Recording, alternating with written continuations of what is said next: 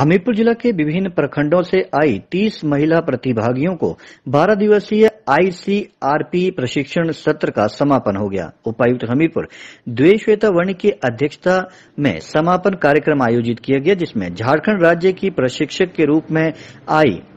लखीचंद तथा अनु यादव द्वारा एनआरएलएम परियोजना का परिचय उद्देश्य तथा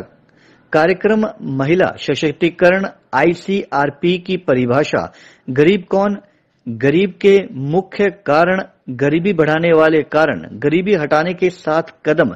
समूहों के द्वारा क्यों अपनाए जाएँ, इसके बारे में परिभाषित किया गया। इस मौके पर समूह की परिभाषा लिखना, पढ़ना प्रक्रिया, गठन की प्रक्रिया में ध्यान देने वाली बातें, समूह के दस सूत्र साप्ताहिक बैठक साप्ताहिक बैठक का तरीका, साप्ताहिक बैठक का एजेंडा, पुस्तक संचालन की परिभाषा, संचालन की परिभाषा, संचालन करने से लाभ, पुस्तक संचालक की योग्यता, संचालक करने वाले काम तथा